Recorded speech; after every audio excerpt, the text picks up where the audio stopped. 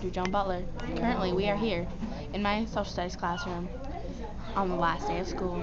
Here we go. Here's the class. Oh, there's I Taylor. Uh huh. Yep, I love Taylor. I love her. Huh? That's her banana booty bread. Okay, so here we go. Here's the class. Pretty cute, eh? There's Randy. Randy! and then, yep, class time. Go class.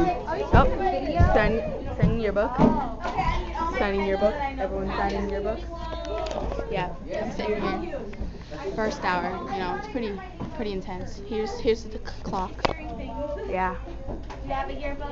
We have a little bit less than half an hour to go. About 25 minutes, yeah. So, I'm going to tell you about my year here. My year here was lovely. I had an amazing year. It was pretty fun. Actually, amazingly fun. And it's saddening me that we are leaving for a whole summer.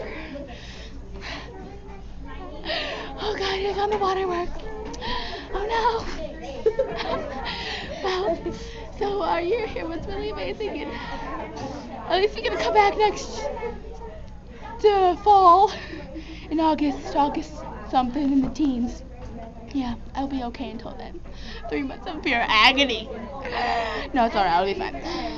I have plenty of things to do, like hang with my friends and go places and do stuff. So yeah, it'll be fun. And I'm turning 14 this summer. I'm like so excited. Woohoo! Go me! Woohoo! Whoop, whoop. Okay, so yeah, I showed you, I told you about my year here, and for one last closing action, I would like to show you the trash can, the pencil sharpener, and the TV that I ran into this year. Here we go.